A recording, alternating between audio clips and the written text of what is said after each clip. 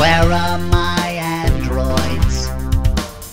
My flying cars? I'm living in the future.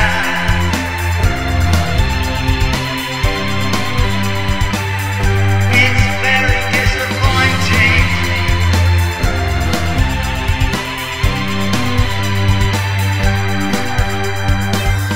I have no spaceship.